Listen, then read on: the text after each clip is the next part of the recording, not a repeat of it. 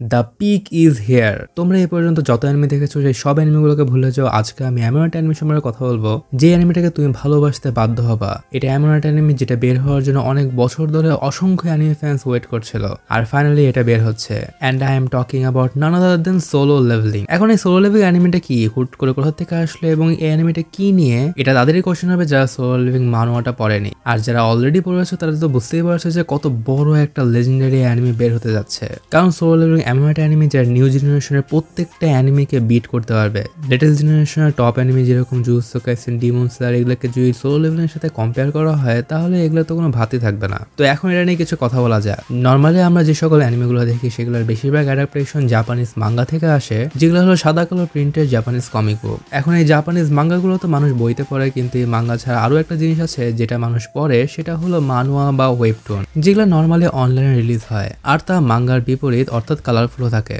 আর এই মানোয়ার জগতে solo leveling এমন একটা মানুয়া যেটাকে সকল মানুয়ার মধ্যে সব থেকে বেস্ট মানুয়া বলে কনসিডার করা হয়। কারণ এর স্টোরিটা এরকম। বাট নর্মালি জাপানিজ মাঙ্গা থেকে অ্যানিমে যেরকম ইজিলি অ্যাডাপ্টেশন হয়ে যায় মানুয়াগুলো সহজে অ্যানিমে অ্যাডাপ্টেশন পায় না। এর একটা কারণ হিসেবে বলা যায় যে মানুয়া হলো কোরিয়ান প্রোডাক্ট অর্থাৎ মাঙ্গা হলো জাপানিজ এবং মানুয়া হলো কোরিয়ান আর নর্মালি কোরিয়ান মানুয়ার অ্যাডাপ্টেশন অনেক কমই দেখা যায়। তাই সোলো লেভেলের স্টোরি অনেক বেশি জোস হওয়ার পরও অনেকেই ভেবে নিয়েছিল যে এটার অ্যানিমে অ্যাডাপ্টেশন হয়তো কখনো বের হবে না। অসংখ্য অ্যানিমে ফ্যান্স এর জন্য অনেক পেটিশনও খুলেছিল যেন এটাকে একটা অ্যানিমে অ্যাডাপ্টেশন দেওয়া হয়। কিন্তু এটা নিয়ে অ্যানিমে বের হওয়ার তেমন কোনো নিউজ ছিল না। বাট অবশেষে সোলো লেভেলিং অ্যানিমে বের হওয়ার অ্যানাউন্সমেন্ট যখন রিলিজ করা হলো, তখনই একটা জিনিস কনফার্ম হয়ে গেলো যে এই জেনারেশনের বেস্ট অ্যানিমে আসে চলেছে। তো এটা নিয়ে তো অনেক প্রশংসা করলাম, কিন্তু যারা সোলো লেভেলিং সম্পর্কে তেমন কিছু জানে না, বা এটার মান হয়ে আগে কখনো পড়েনি, তাদের জন্য এই অ্যানিমে সম্পর্কে কিছু ডিটেলসে বলা যায় সোলো লেভেলের ওয়ার্ল্ড স্টেপে হঠাৎ করে দুনিয়াতে কিছু গেটস অ্যাপিয়ার হয়। যে গেটস এর অপর পাশে আছে অন্য একটা ডাইমেনশন বা বলা যায় একটা ডানজান যে ডানজানের ভেতরে অসংখ্য মনস্টার্স থাকে,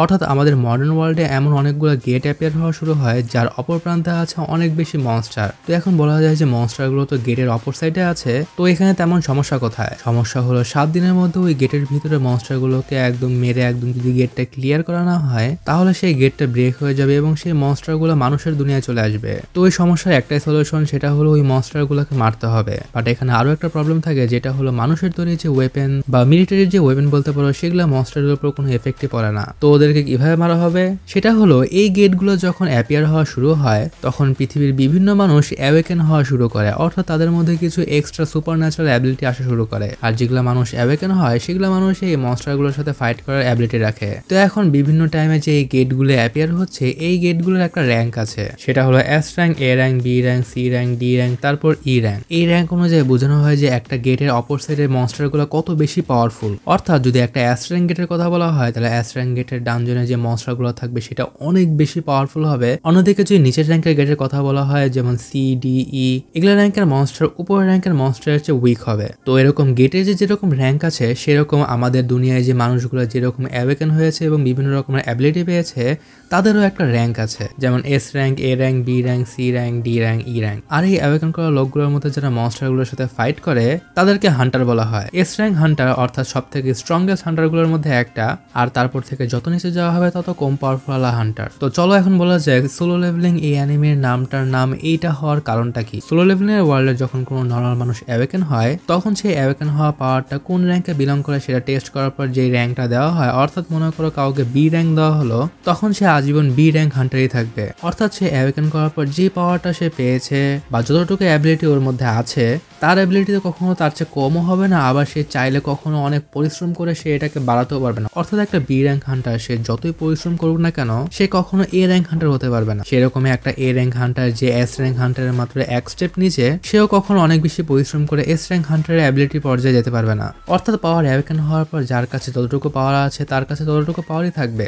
অর্থাৎ ফিক্সড একটা পাওয়ার এরকম না যে আমি অনেক ট্রেনিং করলাম বা আস্তে আস্তে স্ট্রং হলাম, এরকম কিছু না। তো আমাদের যে মেন ক্যারেক্টার সাংজিন ও হান্টারদের মধ্যে অনেক পপুলার একটা হান্টার থাকে। আর ওর পপুলারিটির মেন কারণ হলো, ও হলো ওই ওয়ার্ল্ডের weakest hunter normally S A B C D তারপরে ই র্যাঙ্ক থাকে। আর ই র্যাঙ্কের পাওয়ার যে অ্যাওয়েকেন করে, সে নর্মাল মানুষের থেকে অল্প একটু স্ট্রংই থাকে। অর্থাৎ তেমন অহামরি তেমন কোনো স্ট্রং না। তো বেশিরভাগ সময় ই র্যাঙ্কে যারা অ্যাওয়েকেন হয়, তারা কখনো হান্টার হয় না। তো এখন আমাদের মেন ক্যারেক্টার অন্য হান্টারের চেয়ে এত উইক হওয়ার পরও কেন এই জিনিসটা করে? কারণ টাকা অর্জন করা। সাং জিনুয়ের বাবা অনেক বছর ধরে মিসিং থাকে, আর অন্যদিকে ওর মা হসপিটালে অ্যাডমিট থাকে। আর অন্যদিকে ওর ছোট একটা বোনও আছে যে কলেজে ভর্তি হবে। তো হসপিটালে মেডিকেল বিলস প্লাস ওর বোনের যে পড়াশোনার একটা খরচ আছে, সেটা আমাদের মেন ক্যারেক্টার সাং জিনুয়ের দেখা লাগে। তো এখন টাকা পয়সা যেহেতু অর্জন করবে, তাহলে ও হান্টার হবে কেন? এখন নর্মালি মানুষের হান্টার হওয়ার পেছনে একটা বিশেষ কারণ থাকে, সেটা হলো টাকা অর্জন করা। ডানজনের ভিতরে বিভিন্ন রকমের রেয়ার জিনিস পাওয়া যায় লাইক অ্যাসেন স্টোন বা মানা স্টোন বা মনস্টার্স এর কোর বলতে পারো, সেগুলোর হিউম্যান ওয়ার্ল্ডে প্রায় ভালো রকমের চাহিদা আছে।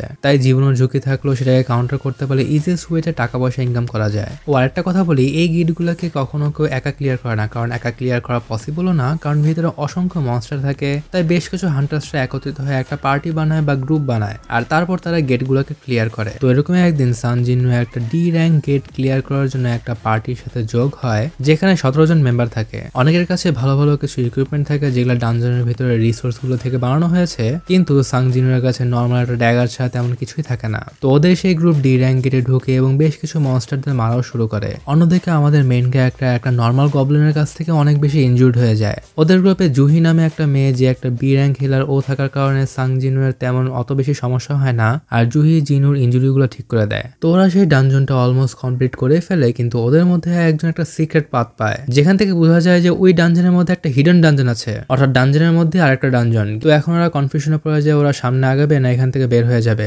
অনেকে বলে যে এটা ডি র্যাঙ্ক গেট তেমন কিছু হবে না, আমরা সামনে আগে। আবার অনেকে এটা অপোজ করে। তো এখন এখানে ভোটিং হয় আর সতেরো জনের মধ্যে আট জনই সেই ডানজনটা এক্সপ্লোর করার কথা বলে। তো আট আর ষোলো জন হয়ে গেল আর বাকি থাকে একজন, যেটা থাকে আমাদের মেন ক্যারেক্টার সাংজিনো এখন ওর ভোটের উপরে নির্ভর করছে যে ওরা সামনে এক্সপ্লোর করবে কি করবে না। এখন আমাদের মেন ক্যারেক্টার যেহেতু অনেক টাকা পয়সার প্রয়োজন, আর ডানজন সামনে আরও এক্সপ্লোর করলে ওর লাভই হবে, এটা ভেবে ও হ্যাঁ বলে দেয়, আর সবাই সামনে আগিয়ে যায়। পরে ওরা অনেক বড় একটা স্ট্রেঞ্জ গেট দেখতে পারে, যেটা থেকে বুঝতে পারে এটাই হয়তো বস রুম আর এখান থেকে যে ঘটনাগুলো শুরু হবে, যেটা হয়তো কেউ কল্পনাও করেছিল না। ওরা সেই রুমটায় ঢুকে আর সেই রুমটা অনেক বড় একটা রুম থাকে, আর চারপাশে অনেক বড় বড় অনেক স্ট্যাচু থাকে। ওরা প্রথমে তেমন কিছু বুঝে উঠতে পারে না যে এখানে কি করতে হবে, আর তখন ওরা দেখতে পারে যে একটা স্ট্যাচুর মধ্যে একটা স্ট্রেঞ্জ কিছু লেখা ছিল।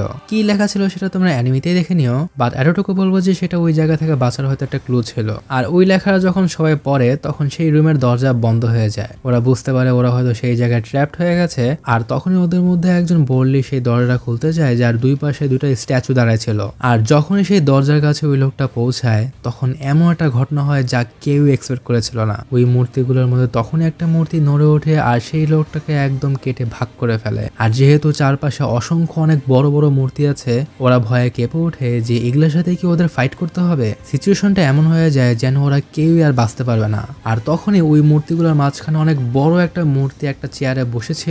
আর আমাদের মেন ক্যারেক্টার ওই বড় মূর্তির ফেসে যখন তাকায়, তখন এমন একটা ক্রিপিয়েস্ট স্মাইল দেখে, যেটা হয়তো নিজে কখনো সামনাসামনি দেখলে তার রুহুকে পড়তো। আর এখান থেকে আমাদের এই অ্যানিমের মেন কাহিনী স্টার্ট হয়ে যায়। এর বেশি আর বলব না, এই অ্যানিমের এপিসোড ওয়ান অলরেডি বের হয়েছে, আর এপিসোড ওয়ানে এতটুকুই কাহিনী দেখানো হয়েছে, তাই সামনে কি হবে যারা সোলো লিভেনের স্টোরিটা জানো না, তারা অ্যানিমেতেই দেখে নিও। ওদের মধ্যে সবাই কি সেই জায়গা থেকে সার্ভাইভ করতে পারবে, আর সার্ভাইভ করতে না পারলেও কারা কারা পারবে, আর সেটা কীভাবে হবে, সেই জিনিসগুলো দেখার পরে তোমরা এই অ্যানিমের সাথে একদম হুকড হয়ে যাবে। বাকি শুধু এতটুকু বলব যে, এই অ্যানিমেটার নাম সোলো লেভেলিং হওয়ার কারণটা হলো, এইসব ইনসিডেন্ট হওয়ার পরে আমাদের মেইন ক্যারেক্টার এমন একটা সিস্টেম নামে একটা পাওয়ার পাবে, যেই সিস্টেমটা ওর সামনে অ্যাপিয়ার হবে এবং ও ছাড়া আর কেউ দেখতে পারবে না। আর সেই সিস্টেমটার মাধ্যমে আমাদের মেন ক্যারেক্টার আস্তে আস্তে লেভেল আপ হবে। লেভেল আপ হবে বলতে আমাদের মেন ক্যারেক্টার এরপর থেকে যত মনস্টার মারবে, তত বেশি পাওয়ারফুল হবে। অর্থাৎ ওর জন্য এই জিনিসটা কিছুটা গেমসের মতো হয়ে গেল। নর্মালি আমরা যখন বিভিন্ন গেম খেলি, তখন সেখানে বিভিন্ন মনস্টার মারার পর আমাদের বিভিন্ন এক্সপি বাড়ে। আর এখানেও আমাদের মেইন ক্যারেক্টার এরপর থেকে যত বেশি ফাইট করবে, তত বেশি স্ট্রং হবে।